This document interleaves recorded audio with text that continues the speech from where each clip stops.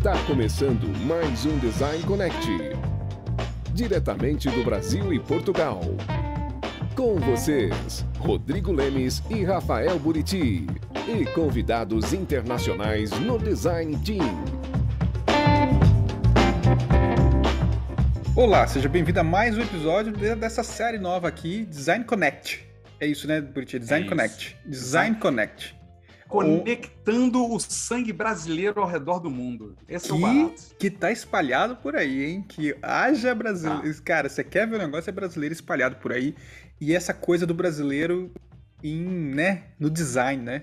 Muito foda, né? Exato. Eu, eu, não, e falando do Connect, já fui imaginando a música do Indiana Jones, sabe? Tipo, conectando no mapinha, assim, pra onde a gente tá indo. Você que vai fazer essa abertura, né? Mas, mas é isso, cara. O Mas, objetivo ó, mas é então- como é que os brasileiros estão se virando ao redor do mundo, trabalhando, sendo aceito, não sendo aceito, vencendo, mostrando como é que se faz design, né? E não sei nem se vai parar, né? A gente tá cheio da- da- das coisas assim, né? Porque, ó, já tem o Good Morning, não sumiu. Tem o Bom Dia. E agora tem o Design Connect. Só que tem que ser Exato. gravado, gente, porque senão a gente mata no fuso os nossos convidados. Ah, sim, porque, porque a gente está pegando gente de vários lugares, não é só dos Estados Unidos, só da. Não, não. A gente está correndo atrás de profissionais que estão aplicando design com alma brasileira por aí. E por causa disso, a gente está gravando. E não necessariamente assim, a gente está chamando de série, né, Rodrigo? Mas pode ser que seja um programa definitivo. Um programa, é. Tá é que a gente rodando fala ali. sério, é. E hoje nós vamos pro Canadá. A gente vai pro Canadá conversar com um designer sensacional. Oh, Canadá, oh, Canadá.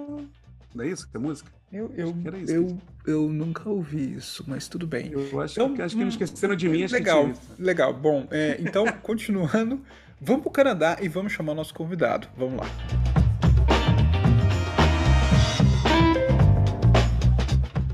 Ah, antes da gente começar, então, Márcio, acho que uma coisa que é legal é você se apresentar. Falar um pouquinho Com da sua história, é, onde você tá, o que, que você tá fazendo, para a galera poder entender, te conhecer, e aí a gente discorre numa conversa aqui sobre essa atuação, especificamente, assim, sua atuação aí onde você tá. Então, Márcio, manda Vamos ver. sim. Vamos sim. É, Bom, eu sou o Márcio, né? É, Alguns me conhecem como Bonfim, ou Bonfa. Na época que eu trabalhei na Globo, as pessoas me chamavam de Bonfa. E nossos amigos daquela época, até hoje se referem a mim assim. Cara, eu sou, primeiro de tudo, pai de três filhos, Léo, Bela e Lucas. É, Sou um torcedor do Vasco, sofrido, sofrido. E, e é engraçado porque isso traz uma conexão com o país de origem muito forte. É talvez, talvez seja uma das coisas mais fortes que eu tenho conectado ao Brasil, seja o Vasco. Olha que loucura. é loucura mesmo, né? Buriti é flamenguista, né? É. É, então vamos, vamos pular, pula. É, É que eu ia falar, né? Vascaíno sofredor é meio que eufemismo, assim, não tem. Vamos, vamos, vamos pular, vamos pular isso aí, que aí machuca demais o coração.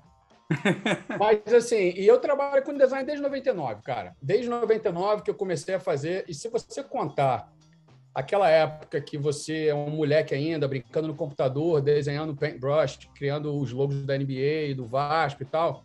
Então, acho que aí você vai até 95, 96 aí, que é onde eu comecei a ter meus, minhas conexões assim digitais com design, ou com design digital.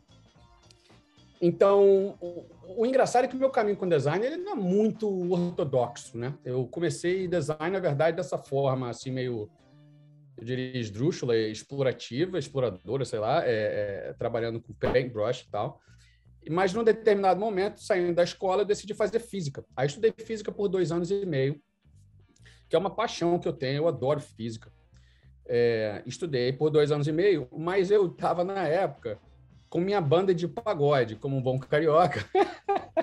eu tive uma banda séria, cara. A gente tocou muito durante muito tempo, uma banda de pagode chamada Curte Samba. E a gente gravou disco, apareceu em televisão, não sei o que, foi um sucesso. Mais ou menos, mas foi legal. e então assim, essa minha parte da música não deixava eu seguir. Aí eu saí da física, tentei IT, ou TI, né? Tentei um curso de TI, fiquei mais dois anos e meio. Aprendi um monte de coisa que ninguém usa mais. Que aí tá falando aí, sei lá, de que 90 e, sei lá, sei lá, 98, 99, alguma coisa assim. Mas aí eu já juntei é, a música, que me deu um, um, um, lance legal de fala, juntei a física, que eu adoro, matemática, com TI. E aí sim, depois de dois anos e meio, eu ainda falei, olha, não é ainda TI. Aí eu, vi, aí eu fui parar é, no curso de design. Pela Estácio, um curso técnico, que foi muito legal. E logo em seguida eu consegui um estágio na Globo.com. Cara, eu vou te dizer que a Globo.com foi, sem dúvida, a maior escola de design da minha vida. Felipe Memória, Alexandre Sadi, André Braz, Lucas Girata, Guilherme Neumann. Eu vou parar por aí, porque senão vai ser uma injustiça. Mas tem que falar do Zero, que é o meu grande amigo e também é um. Ele está em Portugal, inclusive. Que é um, um, um super-herói, assim. E, e, aí eu aprendi muito com eles. BS, nossa, uma, uma galera que me fez perceber o seguinte: o, o, o mundo de design é infinito. E e aí foi um pouco em cima disso. Depois eu, tentei, eu fiz um curso de. Tentei não. Aí eu terminei o curso de design técnico da Estácio e fiz uma pós-graduação na PUC de ergonomia e, e, e, usabilidade. Foi muito legal porque me deu uma certa base acadêmica, mas aí juntando com o não, com o background da, da Globo, me deu um, uma boa base, né? E aí eu comecei a pensar o seguinte: what's next for me? Tipo, qual, qual o próximo capítulo para mim? Eu comecei a trabalhar alguns projetos legais no Globo, mas eu queria ter essa experiência de sair, cara. Eu queria ter essa experiência. Minha mãe foi guia de turismo, eu cheguei para os Estados Unidos algumas vezes e eu tinha essa coisa de ir para os Estados Unidos, de ir para os Estados Unidos. E aí eu comecei a mandar mensagem pro, naquela época. Eu mandava, cara, umas. Olha, não é brincadeira, não. Eu descobri um site chamado Firmlist na época. Não sei nem se existe ainda. E ele listava todas as empresas de design por cidade, no mundo inteiro. Então eu ia todos os dias, eu entrava numa cidade X, e comando clique, plá, plá, plá, plá, plá, abria 5 mil tabs e oi, tudo bem, eu sou designer brasileiro. Eu não falo inglês, mas eu gostaria da oportunidade. Cara, algumas empresas começaram a responder. Eu comecei a fazer frila, comecei a trabalhar, comecei a criar uma cultura de trabalhar com os caras de frila, morando no Brasil e tal. Até que um belo dia, uma empresa de Vancouver, na verdade, Richmond, BC, do lado de Vancouver, me chamou. Falou, Márcio, você quer fazer um frilo aqui? Falei, quero fazer um frilo contigo. Ele falou, por que, que tu não vem aqui conhecer? Falei, pô, eu vou, cara, vou amanhã. Aí eu fui. Cheguei lá, pô, me apaixonei pela cidade. Vancouver é linda no Canadá.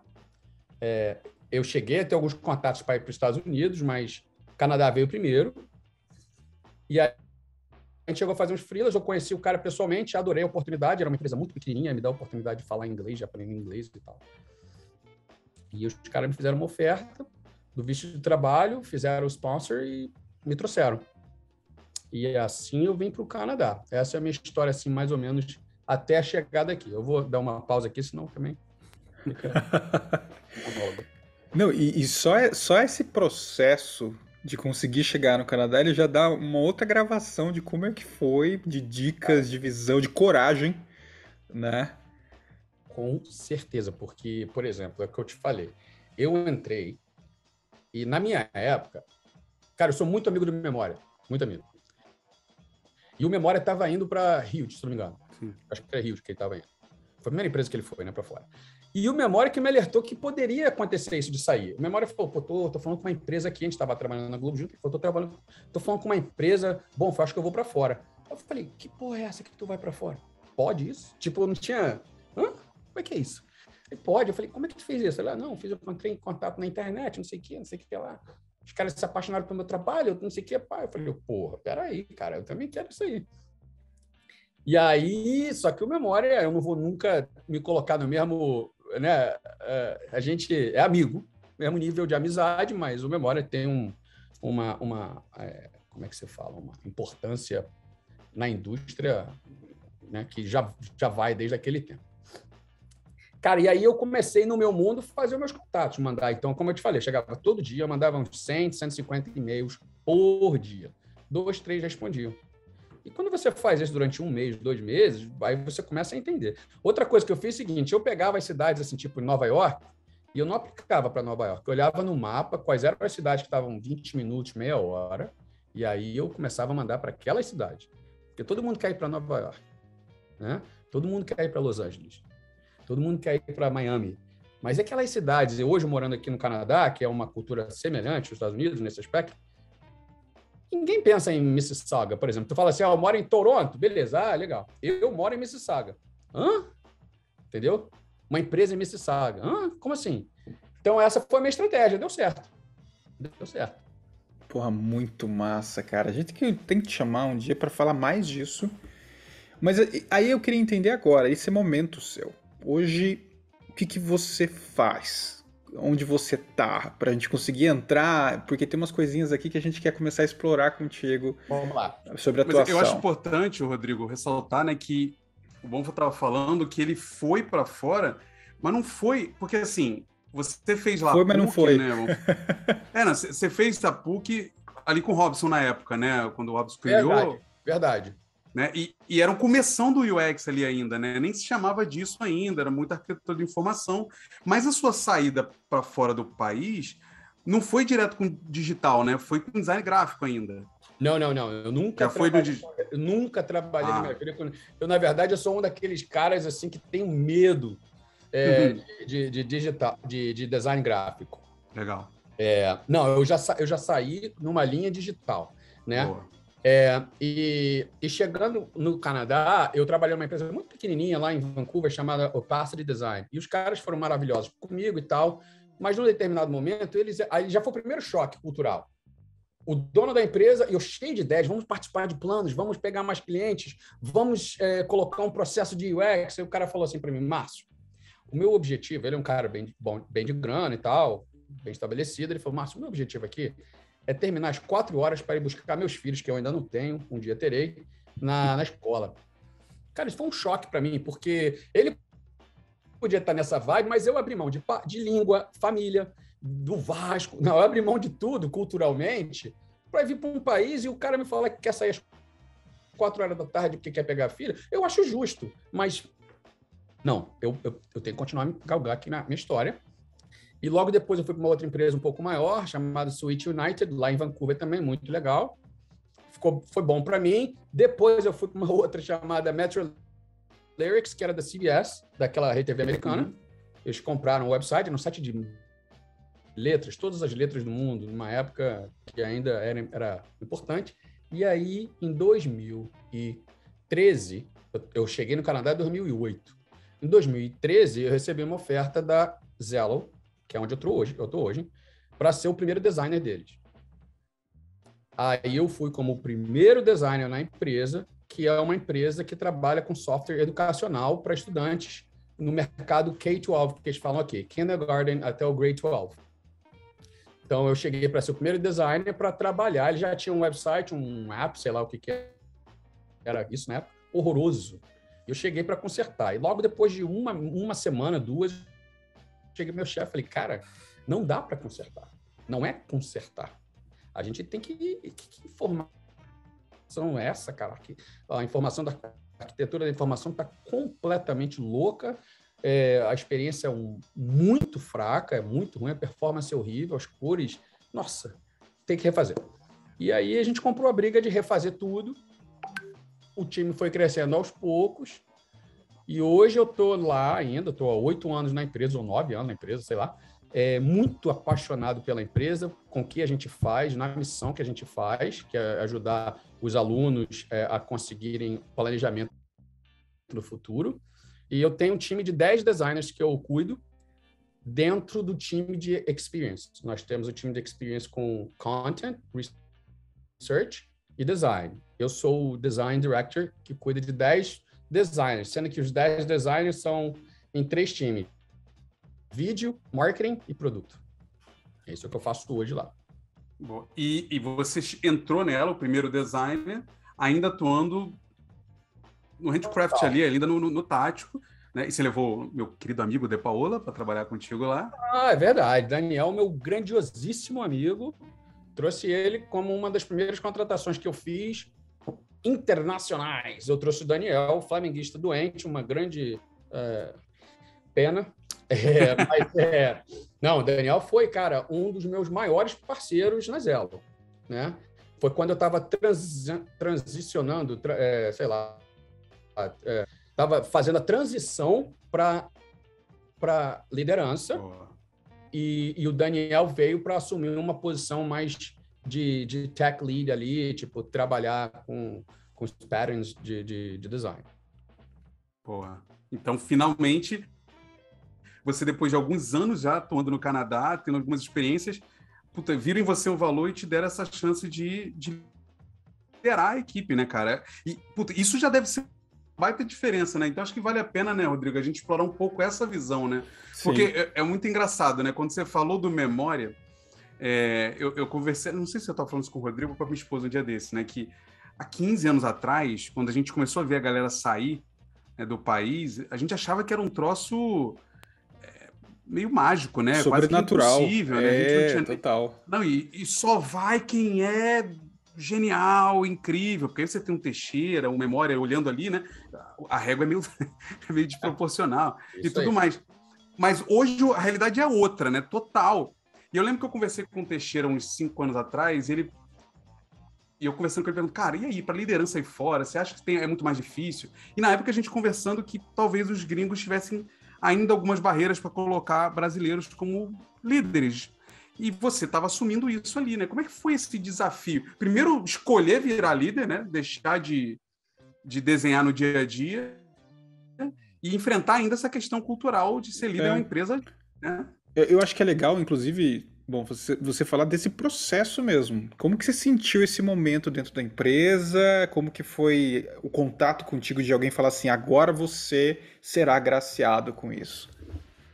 Cara, isso é uma coisa que a gente ouve muito falar por aí, né? Um acidente da vida. É assim, você fica é, estudando, você fica é, lendo, você fica vendo entrevistas, conversa com pessoas. A analogia que eu te faço, eu não sei se vocês têm filhos, mas a analogia que eu te faço é a seguinte: você sempre diz que. Sabe, tem assim, ah, eu estou preparado para ter um filho, agora eu estou preparado. Você nunca está. Você só sabe o que é ser pai quando você é pai. Você só sabe o que é ser um líder no dia que você for um líder. Porque são coisas, cara, do dia a dia. É uma puta dificuldade tu dar um feedback pro cara. É uma sacanagem você mandar um cara embora. Você tem que ter um coração ali, bicho de. Sabe, tem que ligar um modo ali, é, sabe, mecânico e falar: campeão, tá ruim. A gente tem que. Sabe? É, então, essas coisas ninguém te conta quando você está querendo ser. A liderança é muito pomposa quando ela é vendida. Né? Ah, não, muito legal, a grana é melhor, você vai ter autonomia. Autonomia é uma, uma ova. Né? Todo mundo tem o seu tetinho, todo mundo tem o seu sandbox, cara. Todo mundo. Então, isso é uma das coisas que eu falo às vezes lá com os designers lá. Ah, não, porque a gente às vezes precisa de autonomia, não sei o quê. Eu falei, cara, mas isso é. Os caras querem sair para ter mais autonomia não reclamando de mim, mas um papo aberto. Ele fala, mas todo mundo vai esbarrar. Eu trabalho do lado do CEO da minha empresa. Ele tem as barreiras dele, cara. Não é ele virar e falar, vou fazer isso, não. Eu vou fazer isso, tem um board que tem que aprovar. Então, assim, é, todo mundo tem, não tem esse sonho de você falar isso. Bom, eu acho que eu me perdi um pouco aqui. Mas é teve, é, é, é foi difícil para eu migrar demais. Eu abri mão do, do hands-on, do craft. Demais. Demais. Sabe por quê? Porque eu sou um cara super humilde, tá? E eu nunca vou me colocar no nível de gênio desses caras que eu falei aí. Eu deixei de falar do Marcelo Gluz. Pô, sensacional. É, eu deixei. É, eu nunca. Eu acho que eu não sou esses caras assim. Mas eu tenho a minha qualidade. E eu me garantia, tecnicamente, do hands-on. Então, eu sabia que se alguma coisa acontecesse na empresa, se eu não estivesse gostando, eu fazia assim mudava de emprego.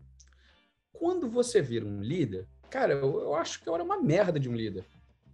Eu era um cocô do cavalo do bandido. Eu não tinha noção de nada.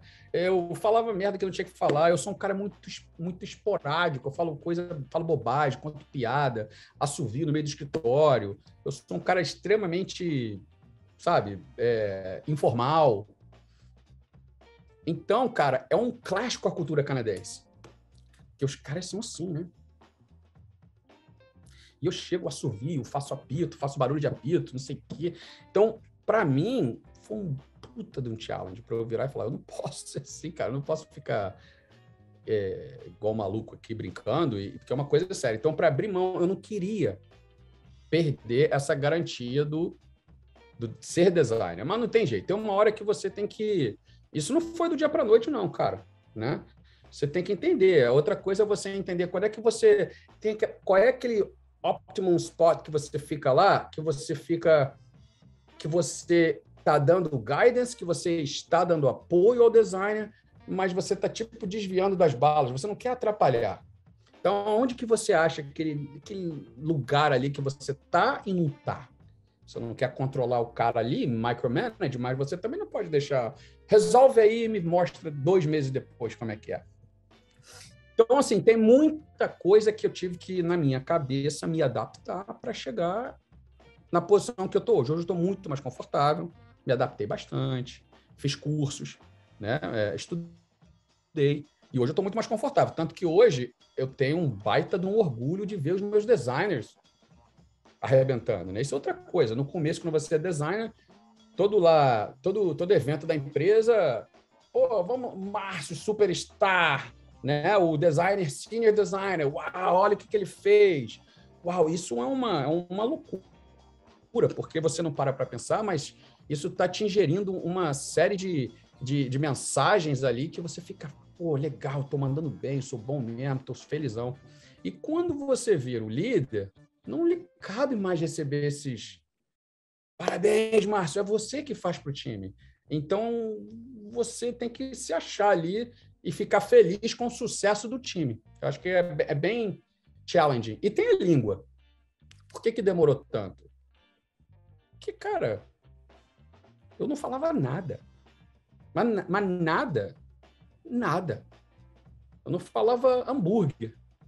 Eu me lembro que eu fui pedir um hambúrguer e o meu chefe começou aí, falou, bicho, tu tá pedindo meleca com queijo. Não é burger, cara. Aí eu, porra, que situação horrorosa. É, então, a língua foi muito difícil para mim. Muito difícil. Você disse, você já foi sem saber falar nada. Cara, o meu e-mail, o meu e-mail para o Passe foi assim.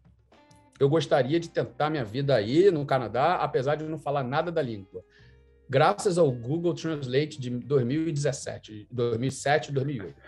Então, imagina o que, que não saiu. Foi tão engraçado que quando eu saí de Vancouver fui para Toronto, esse cara me fez, fez uma festa de despedida, a primeira empresa que eu fui, que é meu amigo até hoje.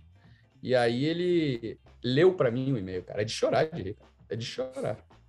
Porque é vergonhoso, mas assim, faz parte. Eu sou super proud desse, desse momento assim, né? E é interessante Boa. porque daí faz sentido o fato de você ter se segurado no que você entregava. Né? Ser garantido que você entregava, porque já que eu não segurava na língua, pelo menos o que eu vou entregar vai me garantir. E aí abrir mão disso para se tornar um líder, porra, deve ter sido uma barra muito difícil, né? De virar essa chave e falar assim, agora o spot que era meu, eu tenho que dar para outros. Né? Que é exatamente o que e você porque na liderança, na liderança comunicação vira o, o, a ferramenta principal, né? Exato. Então, tipo, você, você tá no, no, no, craft ali, tipo, beleza, você tem que ler de vez em quando, escrever um e-mail, talvez fazer uma apresentação do que você desenhou, mas você vai meio ensaiado para esse negócio, né? Agora, no dia a dia, você tem que liderar 10 pessoas, feedback, pessoas. Feedback, ouvir, falar com né? Imagina você ter que você não pode ouvir pela metade, né, o que o liderado falou para você, né? Tipo, não, Cara, tem essa opção, né? Olha, olha, essa situação aqui. Outro dia eu vi um post no, no, no Facebook, no, no LinkedIn, o cara falando sobre isso. Era um brasileiro, se não me engano, falando sobre o problema de ESL, que as pessoas têm que ter um pouco mais de empatia e tal, não sei o quê. Isso me lembrou o seguinte: olha essa situação que é uma situação real. Tu não fala língua, tá? Tu é um cara que tá super inseguro com a língua, e aí você tá num debate do time. Eu quero esse botão azul whatever, não quero o botão azul. Aí a, o developer, ou seja lá quem for do, do, outro lado, fala assim: eu não acho que esse botão tem que ser o azul, tem que ser o vermelho pela regra A, B e C. Até porque, se você lembrar, ele pode falar alguma coisa assim, até porque se você lembrar, isso já deu errado no outro projeto que a gente fez.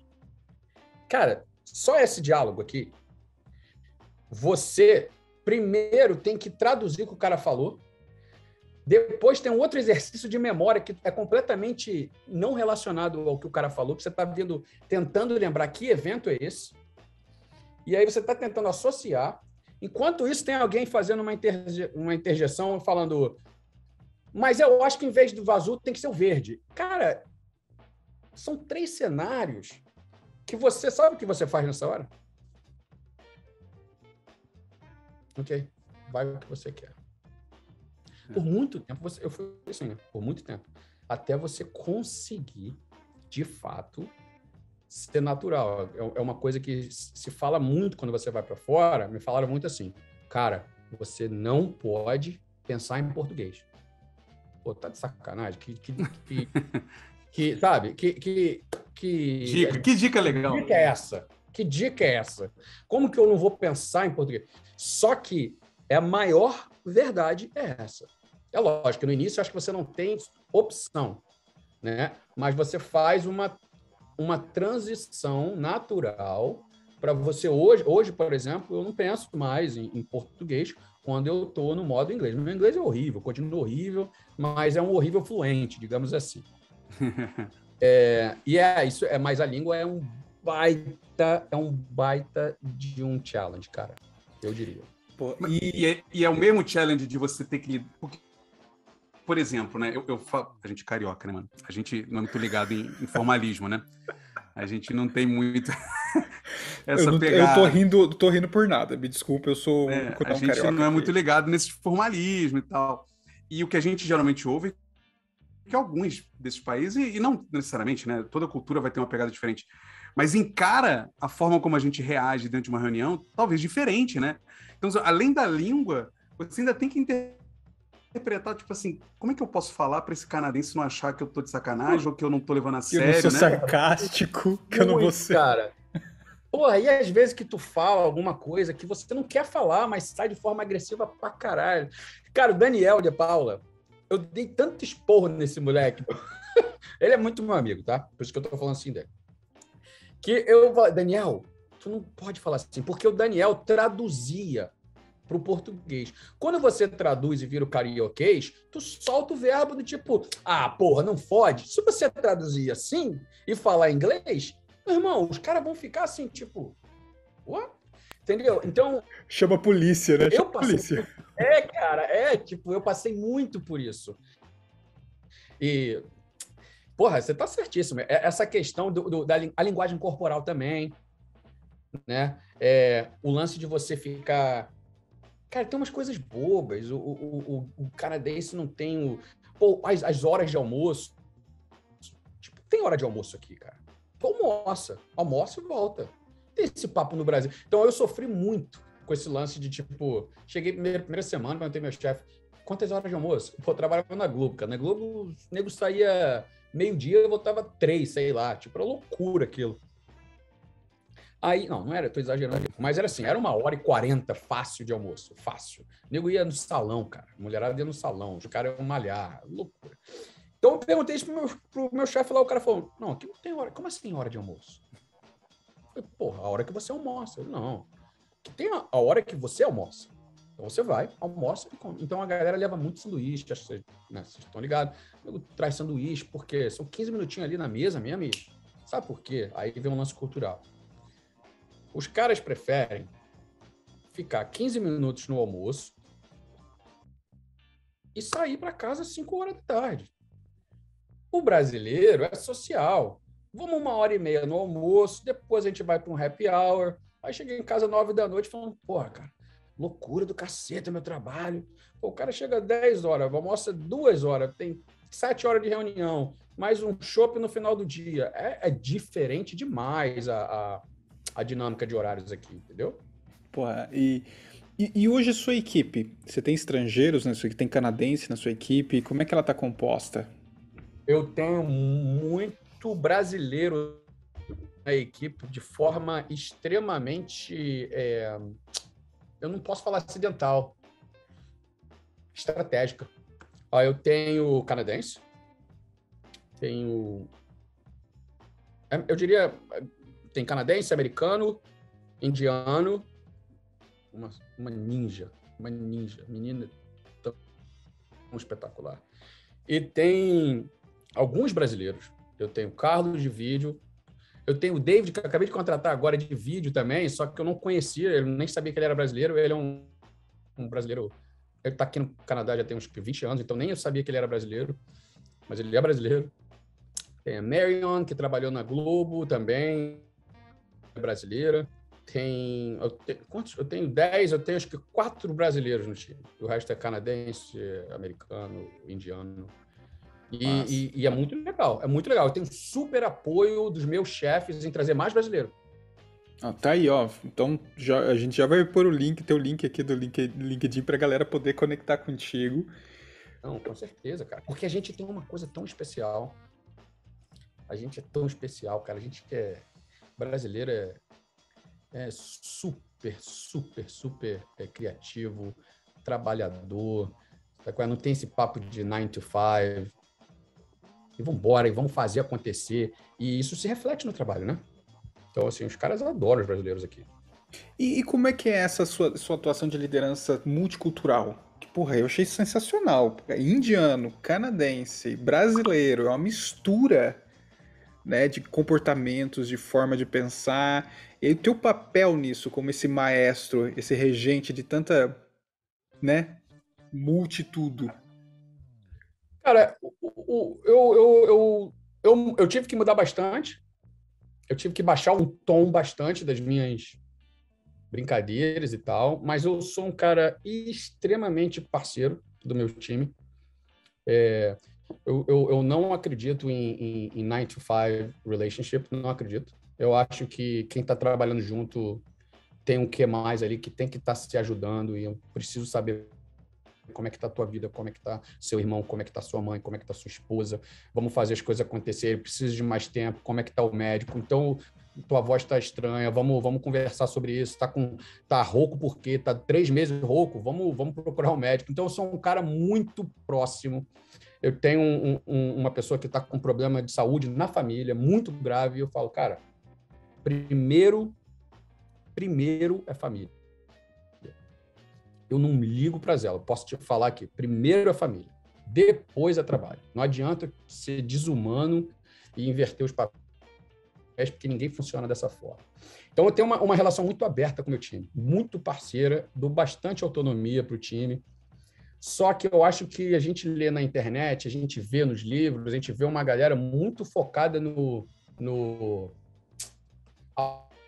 autonomia, do tipo, ah, dá autonomia, deixa o time decidir, deixa as pessoas decidirem. E isso é perigoso, porque quanto mais júnior você tem, o, a, o, cara tem que ter um sandbox ali para ele ter a liberdade dele, acho justo. Mas você não pode virar e falar, resolve aí. Não pode, né? E eu acho que tem muita essa discussão nos times de produto. Deixa, o time, deixa os developers decidirem, deixa os designers decidirem. eu não concordo com isso. Eu acho que é uma, é uma decisão junta. Então, eu tento trabalhar com o time muito em cima disso, eu tento fazer one-on-ones múltiplas vezes por semana. É, eu não consigo encontrar todo mundo, a gente usa um, um, um software chamado Check-ins, não, 15.5, 15.5 para check-ins. Então, assim, é muito legal que toda sexta-feira os caras vão lá e botam como é que foi a semana deles. E aí eles vão lá e colocam, pô, se você não conhece, eu, eu, eu, eu sugiro. É muito legal, te dá uma visibilidade muito legal. E você tem visibilidade em todo mundo, embaixo de todo mundo na arquitetura.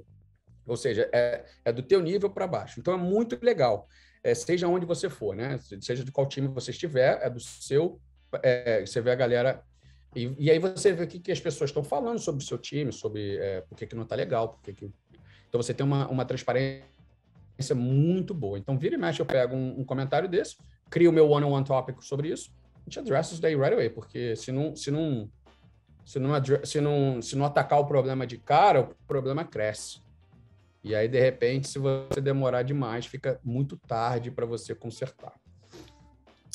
Mas minha, o meu papel é um pouco esse, cara. É um pouco do, de dar autonomia, oferecer ferramentas de criação, oferecer feedback sempre, co-design pra caramba. Eu adoro co-design pessoal, sugerir ideias. Jamais, jamais vou julgar uma solução. Eu sempre peço, vamos tentar mais uma coisa aqui diferente. Se você fizer uma coisa assim, é, eu tento empower demais o design, dou para ele o máximo que eu posso de, de poder. E, e Agora, isso só é possível porque o meu chefe, que é o VP de produto, não, de, de experiência, é, é, um cara que apoia tudo isso. É, é, meu amigo pessoal hoje em dia. Ele me trouxe oito anos atrás, nove anos atrás. Então, é uma parceria que, junto dele com o CEO, o Matt McQuillan, então, quando junta nós três, cara, é uma célula muito forte. Então, se você está numa organização e você não tem esse apoio, eu imagino que seja muito mais difícil de você fazer as coisas de acordo com a sua cabeça. Então, eu tenho muita liberdade. O meu sandbox, por exemplo, é enorme, né? Mas está lá. Se você olhar assim lá no fundo, tem a, tem a, tá fechadinho lá. No final das contas, tá fechadinho. Acho que todo mundo é assim. Boa, boa. boa. Cara, e, e eu, eu acho que faz todo sentido, né? Esse negócio da autonomia que você falou é uma coisa que a gente conversa muito também. É, porque, porque, na real, né, bom, eu acho que a galera entende muito mal a maioria das coisas que, que surgem no mercado para como boas práticas e tal, né? Tipo, autonomia. A galera acha que é isso, é você a coisa da liderança horizontal, né? Não ter hierarquia. A galera acha que é assim, ah, não, pô, não, não manda em ninguém, mas ela não consegue entender. Eu, eu compartilho contigo é níveis de maturidade, né? Níveis de senioridade. E tem gente que ainda está insegura e precisa ser empoderada, e enquanto ela não se sentir empoderada, você dá autonomia para ela é tacar fogo nela, né? É, é tacar fogo na pessoa e mandar ela sair correndo no quarto, né? Tipo, isso não vai funcionar, né? E como é que você vê, pensando nisso, né? Essa, talvez essa cabeça seja muito mais nossa do brasileiro do que de fora, nessa coisa do ser menos by the book, né? Nessas, é, é, é, nesses frameworks. Como é que você vê que a sua pegada né, de liderança, puta, você falou que fez alguns cursos aí e tudo mais, mas tem sempre o, o, o Cora que é brasileiro, né? Como é que você vê o seu jeito brasileiro de liderança impactando, né? A galera sente diferença, tem feedbacks positivos, você acha que isso é um diferencial? Como é que. É, eu tenho diversos feedbacks positivos. Diversos. Eu, na verdade, eu tive poucas, é, poucas situações. Eu, inclusive, brinco muito com o time e falo: é hoje que eu vou receber a ligação da Kay, nossa VP de cultura. É hoje. Que às vezes eu faço umas piadas loucas, cara. Eu faço umas, tipo, absolutamente. É, que eu não deveria. Mas, assim, eu acho que esse meu jeito, ele, ele é muito genuíno. É, e eu acho que o, o resultado é, é que é um time leve. Você sabe uma grande diferença que eu reparo dos times de design que eu vi no Canadá e no Brasil? É a competição tem um lance de política que aqui não, não existe. Essa politicagem no Brasil, eu me lembro meus almoços na Globo, parecia uma novela mexicana. O fulano, cara, se você não tivesse no almoço, a tua orelha. Então, isso era uma coisa, cara, que não foi só a Globo, não. Também trabalhei na Marlin, numa outra empresa um pouco menor, mas muito legal também. Mas eu acho que é a cultura. A galera lá, tipo, eu sou melhor que ele, ele é melhor que não sei quem, não sei o quê. Né? Esse design não é tão bom assim, olha só como é que ele fez isso, não sei o quê. E aqui não tem isso. Então, acho que aqui a gente traz, eu trago esse lance da, de ser leve, e a gente não tem essa, essa coisa pesada da política. Pelo menos, cara, eu vou te, tô te falando de 15, 20 anos atrás, quando eu trabalhei no Brasil. Muita coisa mudou no país. A, a globalização de conceitos ficou é, é muito diferente, eu imagino, uma empresa no Brasil hoje do que era em 2007, né? Mas é, eu imagino que eu, eu tenha um, um, uma... Eu, eu acho que o time é leve. O time sabe que pode errar. O time... Mas o time vai ter acesso a feedback. Eu falo isso, que eu brinco, não sei o quê, blá, blá, blá. Cara, o Daniel trabalhou comigo e, e outros, né? O Vitão, o Vitor Montalvão e outros canadenses também, Catherine Smith e outros. Cara, se tiver que falar sério, eu não tenho a menor eu não tenho o menor problema. Ok, ó, tem um problema aqui, vamos resolver isso aqui agora. Tá? E é um problema sério, vamos resolver. Então eu consigo é, fazer o papel do, do líder que tá de bom humor, tá de bom humor, mas é o seguinte, se a gente tiver que resolver um problema, cara, a gente tem que resolver o problema. Né? E que assim seja comigo também, entendeu? Eu tenho esse canal aberto com o meu chefe também, que assim seja. Mas o feedback que eu recebo é bem positivo do meu lado. Boa, boa. E, e por que, que você ainda está no Canadá? Então, vou fazer uma frase linda que eu inventei. Vou falar uma frase linda que eu inventei. O Canadá é os Estados Unidos que eu sempre imaginei. Olha, cara. O Canadá nada mais era do que o meu stepping stone para ir para os Estados Unidos. Sempre foi. Pô, beleza, agora eu tô indo para lá, não sei o quê, Estados Unidos. Cara, mas eu cheguei aqui, o Canadá é tão maravilhoso, cara. É frio pra caceta. Mas Nova York também é, é a mesma merda. Então, assim, mas as pessoas são tão eles dão tanto apoio. Você tem o Prime Minister, né, o Trudeau, seja lá quem for antes, na época, o Harper, falando em inclusão dos, dos imigrantes e trazendo imigrante. É um país de imigrante, valorizando a imigração. Então, assim, e, e, eu tive a oportunidade de diversas vezes nos Estados Unidos. Eu, quando eu morava em Vancouver, eu, eu, morava a 30 minutos dos Estados Unidos de fronteira. Aqui eu moro um pouquinho mais, uma hora e meia de Buffalo.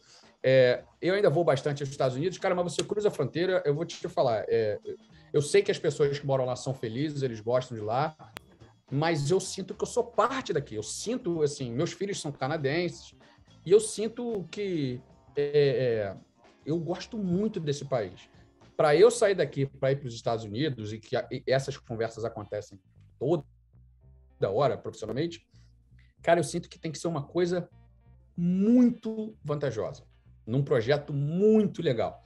Que aí você tem, eu tô, como eu falei, 13, 14 anos no Canadá, tenho minha casa, minha mulher trabalha numa empresa super legal, meus três filhos absolutamente amam as escolas. Então, assim, eu vim para cá para tentar consertar uma geração. Eu tinha meus problemas com o Brasil, adoro o Brasil, mas eu tenho meus problemas com o Brasil. Eu acho que eu consertei. Eu vim sofrendo, minha mulher veio sofrendo, nós dois sofremos aqui, nós viemos casados, mas os meus filhos, aqui eles já resolvem. Falo sofrendo porque eu não tenho pai, mãe aqui, né? Boa. É, irmão e tal. Não, e esse programa é patrocinado pela Embaixada Canadense, né? Então, aplique aqui. Lá para o Canadá. Cara, não, assim, conversa com os canadenses, cara, conversa com os brasileiros imigrantes. Daniel é outro. Eu sou apaixonado pelo país. E o Raptors foi campeão da NBA a couple years ago. Já que o Vasco não é campeão, pelo menos o Raptors é. E, e, e, e bom, dicas então exatamente para essa geração que está hoje a fim de, cara, vou fazer essa loucura. É Canadá, Estados Unidos e tudo mais. Que que é, se você tivesse ouvido e se fosse hoje, o que, que seria a dica de chave de ouro assim que você deixaria para essa galera? Bom, primeiro eu quero dizer o, segui dizer o seguinte: eu não acho que os Estados Unidos é, é, é, é pior. Eu não sou o dono da verdade do que o Canadá. Esse é meu filho doido. Daqui a pouco ele vai abrir essa porta aqui. Ó, olha lá. É, eu não acho. Eu jamais gostaria de vender a ideia que o Canadá é melhor do que os Estados Unidos. Para mim, que fui aos Estados Unidos diversas vezes quando criança, e, e, e vim depois de adulto, é, e depois vim morar no Canadá, eu, eu te digo que, para mim, eu sou apaixonado pelo Canadá. Não é, é uma opinião, não é um fato. Tá? É, a minha, o meu grande conselho número zero é inglês. Inglês. Isso vai te colocar à frente de muita gente. Né? A, a, a, capacidade de se comunicar, a capacidade de você responder uma pergunta bem feita numa entrevista, de você explicar um problema que está acontecendo. É, o inglês ele é fundamental se você quiser fazer a coisa acontecer. A segunda é o portfólio. Você tem que ter um portfólio que eu daria um conselho para fugir um pouco da mesmice, que talvez até seja um tópico é, é, né, o, o, persona, case, blá, blá, blá, blá, blá, blá.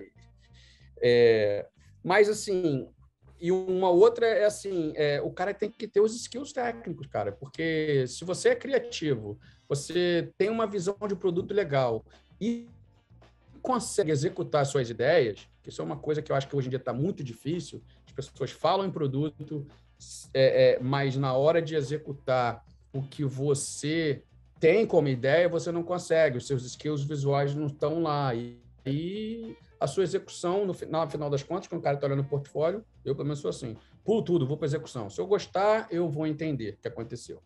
É, eu acho que é uma coisa que, tá, é, que é meio global, inclusive, como eu converso com meus amigos aqui e tal. É, então, eu diria inglês, absolutamente inglês, é, um portfólio bem legal, os skills legal assim, e, cara, é, o que eu fiz, eu acho que funcionou e é interessante. É o seguinte: não tenha vergonha. Go crazy. É, aplica para tudo que é vaga que tu puder imaginar. A cada 100 pessoas que tu mandar de vaga, é, vai ter três ou quatro ali que vão te responder. E outra coisa, é, procura gente no LinkedIn.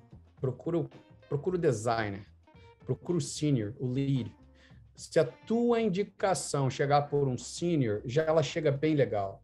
Procura um senior da empresa X, da, da Shopify, faz uma conexão com o cara. A Shopify, por exemplo, leva gente pra caramba do Brasil. Né? É, e eu acho que essas são uns, umas dicas minhas. Não tenha medo, cara. Aplica, aplica, manda, manda, manda. Uma hora vai chegar. Uma hora, ainda mais agora que o mercado está tão. Se bem, olha, eu vou te falar uma coisa, hein? É, eu tenho lido que as, as tech companies, pelo menos dos Estados Unidos, quem depende de funding, pode ser que a gente esteja vendo um momento no, no mínimo estranho nos próximos meses. Mas eu ainda, eu digo, se quer vir, vem, cara. Porque Porra. é muito legal morar fora, eu acho. Porra, sensacional, Porra. cara. Bom, a gente só tem que agradecer o teu tempo e se dispor aqui para trazer essas dicas, essa conversa muito boa. E já fica o convite para voltar, para a gente entrar em miúdos aí de toda essa história, cara, que é sensacional. Muito cara, bom. Com certeza. Eu que agradeço aí, é, foi muito legal. E, de novo, aberto a bater esse papo aí. Eu não sou um cara, como eu te falei. Você já deve ter parado, que às vezes eu tenho que tomar cuidado aqui. O que, que eu vou falar aqui, Marcos? Pô, tá, tá, saindo da linha, tá saindo da linha. Mas é, se vocês acharam ok, tá bom. Ok. Foi muito bom, cara. Você se comportou, cara. Não me deixa à vontade, não. Não me deixa à vontade. Não, foi muito bom.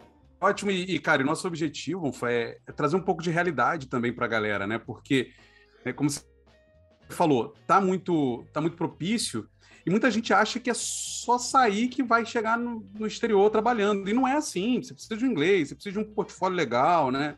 Tem se discutido muito sobre. Ah, eu não preciso do UI aqui. Puta, não, portfólio legal, com impacto visual bonito, bem feito, né? Não, não deixa as pessoas pensarem isso. Eu não quero vender que o A é mais importante que A ou que B, não é não, isso. Não, é. Mas que faz parte, né? Mas, um todo, né, cara? É fundamental. É o é. atacante que não sabe finalizar, não pode, entendeu? Oh, boa, boa. O atacante que não pode, não pode ter um atacante no time que não sabe finalizar. Então, assim, é, é mas é isso que eu te falei, que é, que é na hora de você executar a tua ideia. Você vai é. depender dos outros para executar a tua ideia. Isso que, que, mata, cara. Entendeu? Porque aí o cara pode. É, é, como é que fala? O cara pode boicotar a tua ideia porra, não, não, é, não é bem isso que eu queria. Pô, e aí, como é que é? Não é mais Cara, sua ideia. Né? É, é, mas é por aí, é, a linha é essa. Eu, eu, eu, eu, acho que um portfólio visual é extremamente importante. Só visual sem entregar conteúdo é bobagem, mas é importante que ele acompanhe o conteúdo. Pô, cara, desse jeito a gente tem que encerrar, porque daí fecha com chave de ouro. e oh. Na descrição do vídeo vai ter os links aqui do Bonfa para você se conectar, falar com ele, tirar dúvida, mas não enche muito saco. Pede uma vaga, pede uma vaga, pede uma, uma vaga. vaga. Fala lá, vaga. fala lá, fala. Eu mando pro Daniel também. Não, tô brincando. Vai lá, fala assim, vai ser um prazer responder. Muito obrigado, pessoal. E qualquer coisa, estamos aí para a próxima. Falou? Obrigadão, mano. Abraço, cara.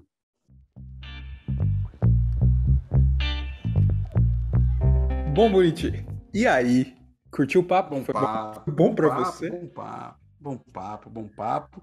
Gostei muito ali de quando ele, ele falou o negócio de, de mandar e-mail para geral, porque eu me vi na pele dele assim. Eu lembro eu quando também, era mulher cara. começando, eu mandava, eu, eu, eu tinha um, um, bloco de notas com todas as agências do Rio de Janeiro e ficava mandando o meu portfólio. Cara, velho, né? Coisa de velho. Eu achei Mas minha pastinha, minha pastinha aqui atrás, a pastinha com os, os trabalhos de design que eu mandei e-mail e as agências de São Paulo, Liu Lara a Publicis, essas agências me chamavam para eu trocar uma ideia, mas não consegui, né?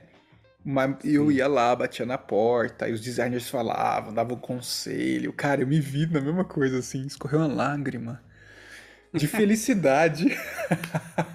Sim.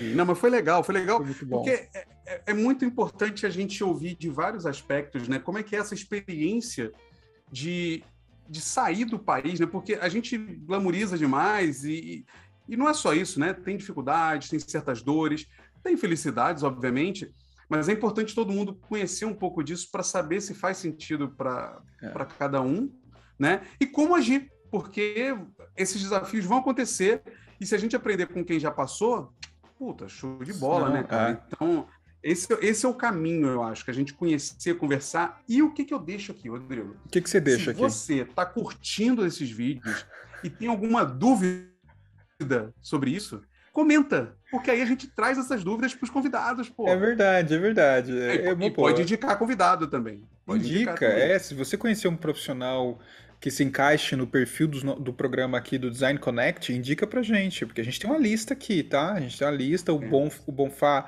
sensacional, líder, isso foi deu uns toques bem legais aí. Mas se você tiver algum colega, amigo que você fala, porra, eu queria que ele falasse da experiência dele lá fora, manda aqui pra gente. Gente, o que não falta, né? É o que eu falei, brasileiro tá em todo canto. Exato, exato. Muito bom. Buriti. Muito bom, muito então, bom. A gente encerra esse programa, mas fica com a gente, porque vai ter mais programas, vai ter mais convidados. Além de Bom Dia UX, além dos vídeos é que eu vou gravar, do podcast que a gente tem gravado, um monte, um monte de coisa que a gente tem. Sim, não. A gente se vê por aí no Bom Dia UX, no Design Connect aqui, a gente se Good vê no morning. Bom Dia UX, no Nos meus vídeos, no CursoCast, em evento, em evento, é em workshop, ó, porque vocês sabem, né? Como né, a gente já falou, nós somos loucos. Uh, não se esqueça, assine aqui o, o, YouTube, o Design Team, segue a gente, dá uma olhada no nosso site designteam.com.br, escuta os podcasts em todas as plataformas, comenta, compartilha, conecta com a gente e é isso. Grande abraço. Valeu! Tchau.